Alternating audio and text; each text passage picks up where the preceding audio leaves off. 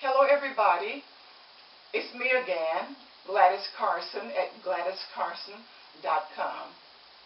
And ladies, today I want to demonstrate a relatively simple task for women like me who are used to having someone else set up your equipment.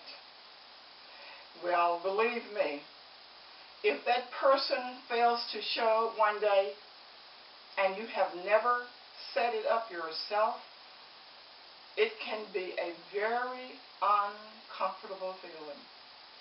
So today, I want to show you how you can quickly set up your own tripod. Now mine comes in a nice little carrying case, which is real handy when I'm by myself. Okay, first I want to extend the legs.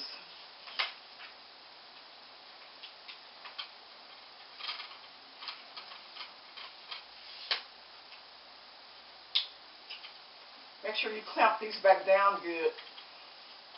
I have failed to do that and it is not pretty. Okay.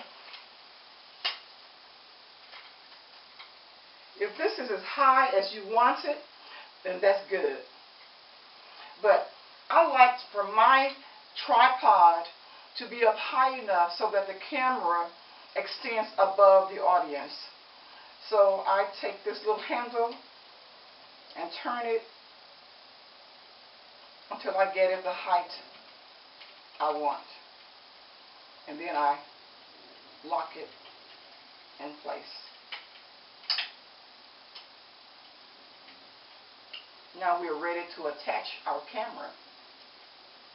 Now this little section right here comes out and this little lever pulls down to release it. So I'm going to pull it down and remove this. And you can see it has a big screw in it.